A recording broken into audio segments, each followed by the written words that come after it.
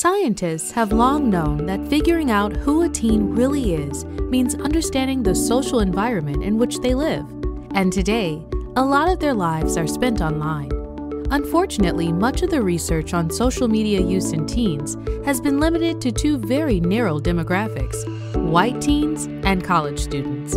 These limitations have left underrepresented teens, including teens of color and those of gender, ethnically or sexually marginalized identities, out of the digital story, and with it, the unique ways they are engaging with and shaping the digital age they live in. But as more research is done, a clearer picture is emerging, including the unique ways marginalized teens are using social media to learn about and develop their own identities.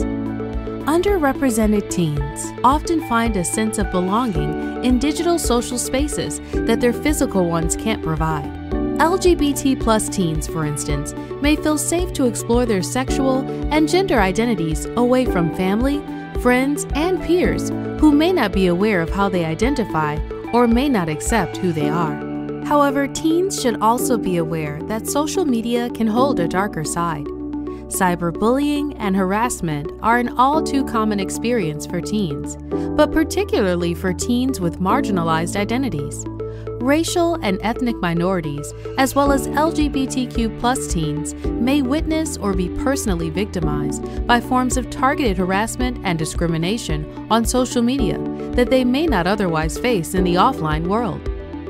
Every teen is different. Their digital lives should be tailored to their own background, identity, and values. Making sure kids understand how certain social media interactions can be harmful, especially to teens from marginalized backgrounds, can allow them to find safe and positive online experiences that empower their own search for purpose, community, and development.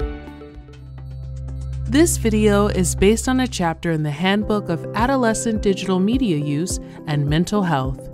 You can learn more about how to protect teens from the risks of digital media by downloading a free copy of the handbook at www.teensandtech.org/handbook.